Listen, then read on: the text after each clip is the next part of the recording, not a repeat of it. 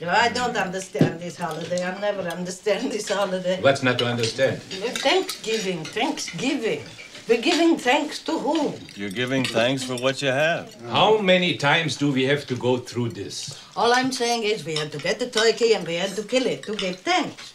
If it wasn't this holiday, we wouldn't have turkey. I don't eat turkey the rest of the year. Why do I have to eat it now? Mom, don't give thanks, okay?